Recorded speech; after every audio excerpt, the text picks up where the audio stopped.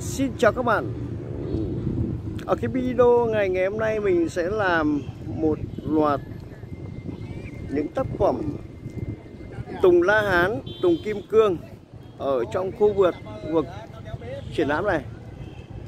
Tác phẩm đầu tiên là tác phẩm Tùng La Hán của Dũng Tân Thái Nguyên. Một tác phẩm trị giá nhiều tỷ đồng.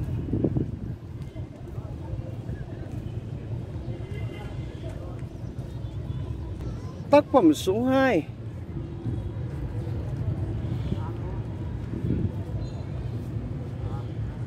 Được trưng bày trong khu vực này à, Chiều cao của tác phẩm cỡ 1 mét rưỡi Chiều ngang cỡ hơn 2 mét ạ.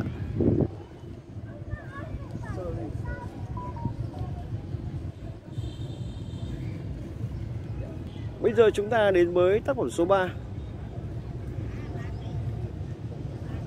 Trong một chuỗi những cây trùng Kim Cương.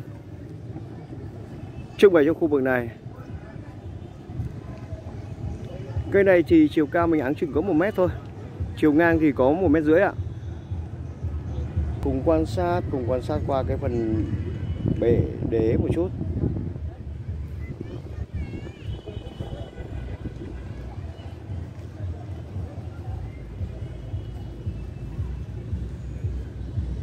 Rất cân đối. Tác phẩm Tùng Kim Cương số 4 đúng là mỗi cây một dáng vẻ. Nhưng cây này mình cảm giác cái độ cao là khiêm tốn nhất.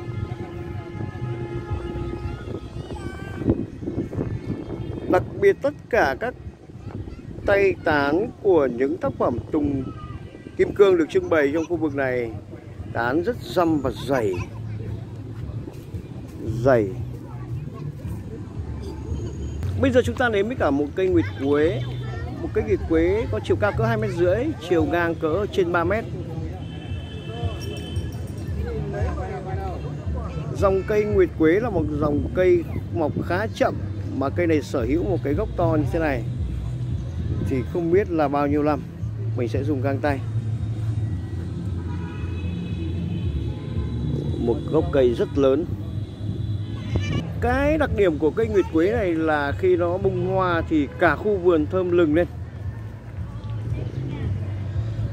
Tại vì các bạn hình dung mỗi một cái ngọn nó ra như thế này thì là nó bung rất nhiều hoa trắng xóa luôn.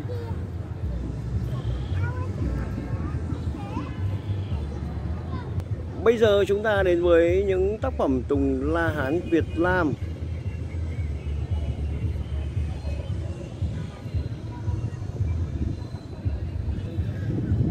phần khá lớn.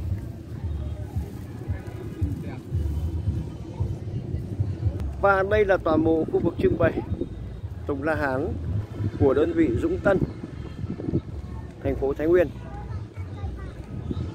Cảm ơn các bạn rất nhiều đã theo dõi video của mình.